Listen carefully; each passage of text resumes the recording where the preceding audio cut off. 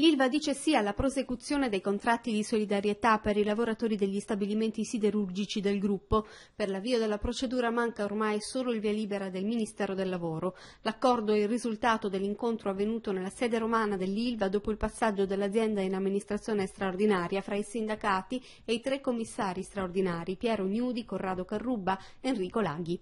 Tavolo che era stato convocato proprio per predisporre gli ammortizzatori necessari per tutelare il lavoro e consentire ai dipendenti di affrontare l'anno più duro. Dunque si prosegue con i contratti di solidarietà con i numeri attuali, ovvero 3.553 lavoratori a fronte dei 5.000 annunciati.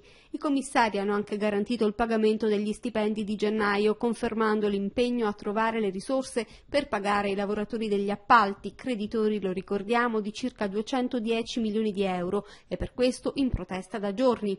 Cresce l'attesa per la conversione in legge del decreto di dicembre che sbloccherebbe ingenti risorse per Taranto. Quanto ai fondi Fintecna, i commissari hanno riferito ai sindacati che per il via libera dei 150 milioni previsti è necessaria una modifica del decreto ILVA, modifica che potrebbe arrivare con gli emendamenti che devono essere presentati entro oggi. E sempre oggi i tre commissari saranno a Taranto per incontrare il prefetto Umberto Guidato, il sindaco Ipazio Stefano, l'arcivescovo Filippo Santoro e i vertici locali di Confindustria insieme probabilmente ad una delegazione di imprenditori dell'indotto. Nel pomeriggio è anche previsto un incontro fra la dirigenza del siderurgico tarantino e i segretari provinciali di FIM, FIOM e WILM e le RSU per valutare la situazione produttiva e i carichi di lavoro. Prosegue intanto la mobilitazione dei lavoratori dell'indotto che continuano i presidi davanti alla portineria impresa dell'Ilva e al municipio.